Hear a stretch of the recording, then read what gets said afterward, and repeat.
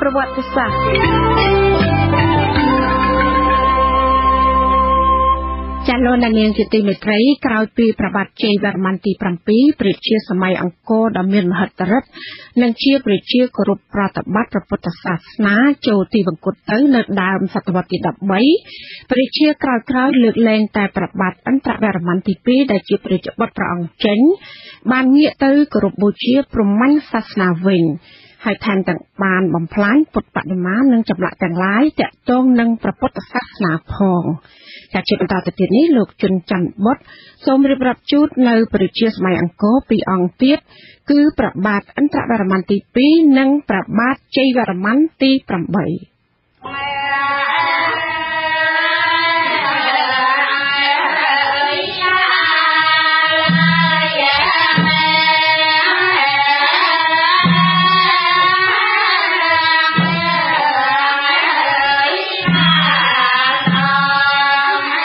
បាទឥន្ទ្រវរ្ម័នទី2ព្រះបាទឥន្ទ្រវរ្ម័នទី2បានឡើងគ្រងរាជបន្ទាប់ពីព្រះបាទជ័យវរ្ម័នទី7ក៏ប៉ុន្តែគេមិនបានដឹងច្បាស់ទេថាតើបុត្រអង្គណាមួយរបស់ព្រះអង្គបានឡើងសោយរាជស្នងពីព្រះអង្គទេដោយសារព្រះបាទជ័យវរ្ម័នទី7មានព្រះរាជបុត្រច្រើនគេគ្រាន់តែសង្ស័យថាព្រះរាជាអង្គនេះប្រហែលជាព្រះរាជបុត្ររបស់ព្រះនាងឥន្ទ្រទេវី ព្រះបាទជ័យវរ្ម័នទី2ទ្រង់បានខិតខំគ្រប់គ្រងថែរក្សាព្រះរាជាណាចក្រដ៏ធំដែលរួបរวมគ្នា ដោយទឹកដីនិងជាតិសាសន៍ផ្សេងផ្សេងគ្នា ដែលជាមរតកបន្តពីព្រះបិតាព្រះអង្គមកឆ្នាំ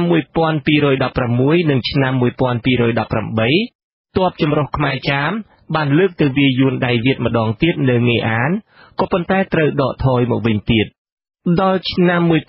1220 គឺប្រហែលជាមកពីព្រះអង្គជាពុទ្ធសាសនិកដ៏ជ្រះថ្លាស្រឡាញ់សុខសន្តិភាពមិនចង់ធ្វើឲ្យខូចប្រយោជន៍អ្នកដទៃឬមិនចង់ឲ្យអ្នកដទៃមានវិបរិតដោយសារព្រះអង្គព្រះអង្គក៏ទ្រង់ដោះលែងដោយចេតនាជំរុញឲ្យប្រទេសចម្ប៉ាមានសេរីភាពនិងឯករាជ្យភាពឡើងវិញហើយបានលើកព្រះអង្គម្ចាស់អង្គសារាជស្ដេចចាមឲ្យឡើងសោយរាជនៅរាជធានីវិជ័យនៃប្រទេសចម្ប៉ា ក៏ប៉ុន្តែមានមតិខ្លះពោលថាការដែលខ្មែរដកថយពីចម្ប៉ានេះគឺបុព្វហេតុមកពីពេលនោះមានការបះបោរឬបំរាស់របស់ជនជាតិថៃនៅត្រង់វាលទំនាបទន្លេមេណាមវិវាទបានកើតឡើងរវាងចៅហ្វាយខេត្តខ្មែរនិងមេតបថៃពីរនាក់នៅសុខោតីដែលនៅទីបំផុតចៅហ្វាយខេត្តខ្មែរត្រូវភៀសខ្លួនចេញពីសុខោតីនោះគេមិនដឹងពិតប្រាកដថាតើព្រះបាទឥន្ទ្រវរ្ម័នទី2ទ្រង់ឡើងសោយរាជនៅឆ្នាំណាទេ ឯកសារខ្លះថាឆ្នាំ1210ឯកសារខ្លះទៀតថាប្រហែលឆ្នាំ1218គេគ្រាន់តែដឹងច្បាស់ថាព្រះអង្គទ្រង់គង់ក្នុងរាជសម្បត្តិរហូតដល់ឆ្នាំ1243នៃគ្រិស្តសករាជព្រះបាទជ័យវរ្ម័នទី8និងប្រតិកម្មសេវនិយមប្រឆាំងនឹងពុទ្ធសាសនាព្រះរាជាដែលសោយរាជបន្តពីព្រះបាទឥន្ទ្រវរ្ម័នទី2គឺព្រះបាទជ័យវរ្ម័នទី8ដែលគេមិនបានដឹងពីចំណងតាក់ទង ជាញាតិសាលោហិតនិងព្រះរាជាមុនមុនឡើយព្រះបាទជ័យវរ្ម័នទី8ជាព្រះរាជាដែលមានជំនឿយ៉ាងមុតមមលើសាសនាព្រះឥសូរចាប់តាំងពីដើមរាជរបស់ព្រះអង្គព្រះអង្គបានចាប់ផ្ដើមរៀបចំឡើងវិញនូវច្បាប់ទម្លាប់ខាងព្រហ្មញ្ញសាសនាគណៈព្រះឥសូរនេះក្នុងរាជរបស់ព្រះអង្គមានប្រតិកម្មយ៉ាងខ្លាំងក្លារបស់អ្នកកាន់ព្រហ្មញ្ញសាសនាទៅលើព្រះពុទ្ធសាសនា ដោយពេលនោះមានការវាយឬកោសលុបបំផ្លាញព្រះពុទ្ធបដិមាករដែលគេបានសាងយ៉ាងច្រើននៅក្នុងរាជព្រះបាទជ័យវរ្ម័នទី7និងព្រះរាជបុត្ររបស់ព្រះអង្គគឺព្រះបាទឥន្ទ្រវរ្ម័នទី2ដែលសោយរាជមុនព្រះអង្គនោះព្រះអគ្គមហេសីរបស់ព្រះបាទជ័យវរ្ម័នទី8មានព្រះនាមថាចក្រវាទីរាជាទីវីជាកូនស្រីរបស់អតីតរាជបរហិតឫស្សីកេសាហើយព្រះនាងមានបងប្អូនជីដូនមួយម្នាក់ទៀត ដែលជាអ្នកប្រាជ្ញខាងព្រហ្មញ្ញសាសនាឈ្មោះជ័យមង្គលលាតដែលស្វាមីព្រះនាងទ្រង់គោរពកោតក្រែងរហូតដល់បានសាងប្រាសាទមួយក្នុងរាជរបស់ព្រះអង្គដើម្បីតម្កល់បដិមាករតំណាងព្រាហ្មណ៍រូបនេះថែមទៀតផងនៅក្នុងប្រទេសប្រជារាស្ត្រទូទៅនិងមន្ត្រីធំធំនៃព្រះបរមរាជវាំងមួយចំនួន ដែលនៅគោរពព្រះពុទ្ធសាសនាដែលនាំចូលមកពីកោះស្រីលង្កាដោយព្រះអង្គម្ចាស់តាមលិន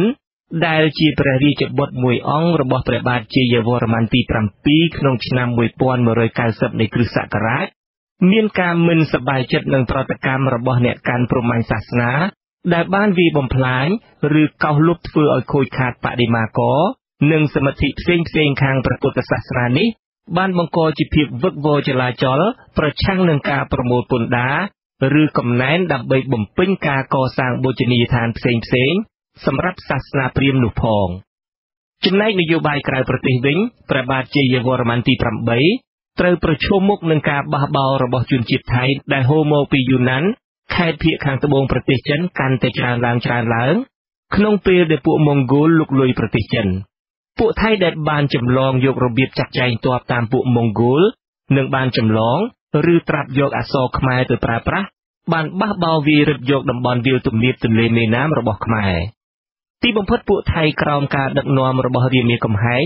ក៏បានប្រកាសឯករាជ្យហើយរឹបយកទីក្រុងចាស់របស់ខ្មែរគឺសុខោតេធ្វើជារាជធានីរបស់ខ្លួនម្យ៉ាងទៀតព្រះបាទជ័យវរ្ម័នទី8ត្រូវប្រឈមមុខតទល់នឹងពួកម៉ុងហ្គោលដែលបានវាយលុកឈ្លានពានលើអាស៊ីអាគ្នេយ៍ទាំងមូលក្រោយពីបានវាយយកប្រទេសចិនបាន ហើយបង្កើតរាជវង្សឡើងសោយរាជលើប្រទេសនេះពីឆ្នាំ1279 ដល់ឆ្នាំ1368ដល់ឆ្នាំ1283ក្រោយពីវាយយកបានភៀកខាងជើងនិងភៀកកណ្ដាលនៃប្រទេសចម្ប៉ាហើយឧត្តមសេនីយ៍ស៊ូហ្គាទូមេបញ្ជាការនៃកងទ័ពម៉ុងហ្គោលបានបញ្ជូនមេទ័ព2នាក់ឲ្យចូលមកប្រទេសកម្ពុជា តែត្រូវខ្មែរចាប់បានជាឆ្លើយទាំង2នាក់ទោះបីជាទ័ពខ្មែរចាប់បានមេទ័ពទាំង2នាក់របស់ម៉ុងហ្គោលក៏ដោយ ក៏ព្រះបាទជ័យវរ្ម័នទី8ទ្រង់ឆ្វេងយល់ថាគួរតែលើកសួយសារអកទៅថ្វាយព្រះចៅគូបៃឡៃខាន់នៅឆ្នាំ1285នៃគ្រិស្តសករាជនោះ នៅចុងរាជរបស់ព្រះអង្គឆ្នាំ1295វិបត្តិក្នុងរាជវង្សមួយបានកើតឡើង ហើយវិបត្តិនេះបានជំរុញឲ្យព្រះបាទជ័យវរ្ម័នទី8ទ្រង់ដាក់រាជ